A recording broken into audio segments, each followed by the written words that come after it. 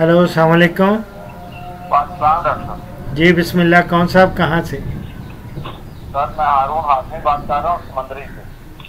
سمندری سے۔ جی فرمائیں کیا پوچھنا چاہتے ہیں؟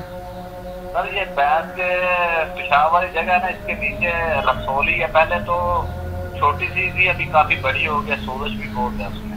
تو ڈاکٹر صاحب کو ادھر میں نے دکھایا تھا انہوں نے دو لگاتے رہے دو تین دن لگے وہ سوزش تھوڑی کم ہوئی ہے اتنی زیادہ لیکن کم نہیں ہوئی سوزش ہے تو وہ کیا کہتے ہیں کہ یہ انجیکشن سے ٹھیک ہو جائے گی؟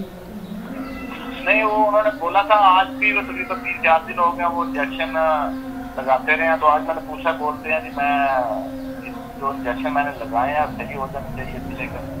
مشورہ مشورہ میرا یہی ہے کہ آپ اس ان کو کہیں کہ اس رسولی کو آپریٹ کر کے نکال دیں ختم کر دیں اور اس پہ ٹینچر آیوڈین لگائیں۔ ٹھیک ہے؟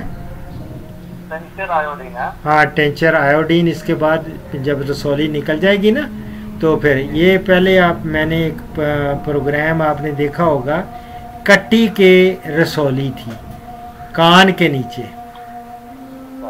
جبڑے کے اوپر کان کے نیچے کٹی کے۔ تو اس کو بھی میں نے یہی مشورہ دیا تھا۔ تو الحمد للہ الحمد للہ وہ ٹھیک ہو گئی۔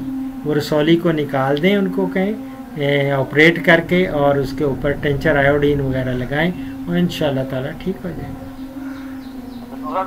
گا اور ساتھ تھوڑا بہت اگر دیکھنا اگر بخار خدا نخواستہ اگر ہو تو ایمیزول کا انجیکشن لگا دیں، نہیں تو پیراسیٹامول جو ہوتا ہے نا یا سمجھتے ہیں پیراسیٹامول یا پیناڈول، وہ ایک پورا پتہ لے لیتے ہیں پیراسیٹامول کا۔ اس میں سے دس گولیاں پانی میں گول کے وہ اس کو پلا دیں، تو بخار اتر جائے گا۔ اگر ایمیزول وغیرہ کا انجیکشن نہیں لگوانا، وہ لگا دیں گے تو بخار بھی اتر جائے گا، ٹھیک ہو جائے گا۔ اچھا، دوسرا ایک بھینس ہے، وہ ابھی دودھ ہوئی ہے، ایک مہینہ دودھ جب سے دودھ ہوئی ہے، دودھ بہت کم ہو گیا۔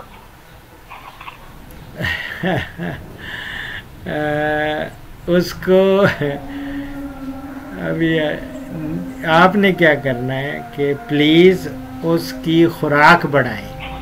اس کا تھوڑا جو ہوتا ہے، یہ کر جاتی ہے تھوڑا اس طرح ہو جاتا ہے نئے دودھ میں۔ تو ایک دم سڈن چینج آتی ہے اس کے اندر۔ تو وہ ایک تو دودھ کم کر دیتی ہے اور بعض اوقات کھانا پینا بھی کم کر دیتی ہے۔ لیکن کھانا پینا تو ٹھیک ہے اس کا۔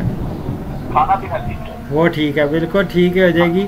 اب اس میں تھوڑا ونڈا وغیرہ اس کو ڈالیں اور ان شاء اللہ تعالیٰ دودھ بڑھائے گی۔ اور اس میں اگر آپ کے پاس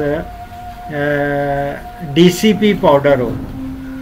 جی، جی۔ ہے وہ ہاں وہ ڈی سی پی پاؤڈر دیکھ لیں، وہ ڈالیں۔ اللہ فضل کرے گا انشاءاللہ، ٹھیک ہو جائے گی۔ ٹھیک ہے؟